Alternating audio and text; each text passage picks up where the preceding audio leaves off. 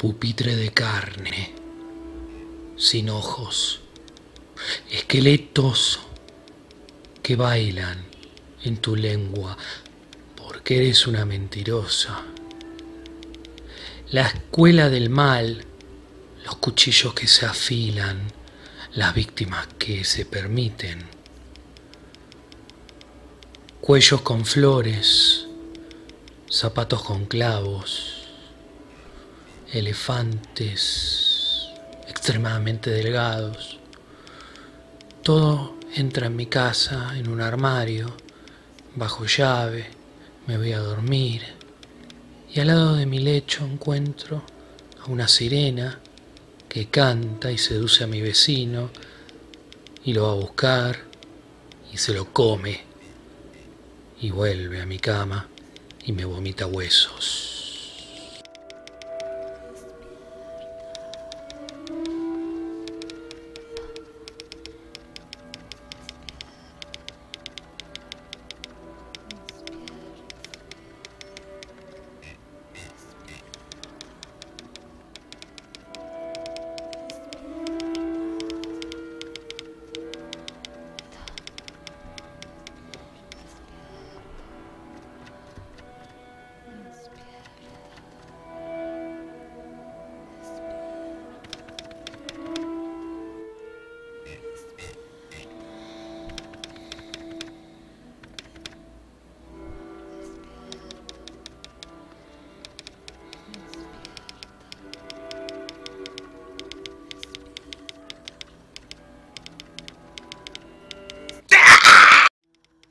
Tenía mucho miedo a la noche,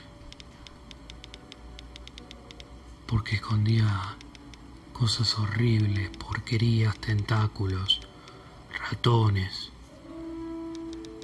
monstruos, camas podridas con esqueletos. Le tenía miedo a la noche porque siempre me visitaban ellos, los que eran altos y muy pálidos que tenían varios ojos, varias narices, que me insultaban, me increpaban, me escupían, me torturaban con palabras terribles. Le tenía miedo a la noche porque mi madre, que Dios la tenga la gloria, solía cantarme, abrazarme, me daba un pequeñísimo momento de luz que ya no lo tengo y lo extraño. La noche vendrá por mí. Hoy desperté y me prometí no sangrar más. Me juré que el interior de mi cuerpo estaba vacío, que no había templo, que no había espacio para culto ni religión alguna, solo para la poesía pero una poesía escueta, mínima, fugaz. Tres palomas sin cabeza y cada una en sus patas sosteniendo una palabra.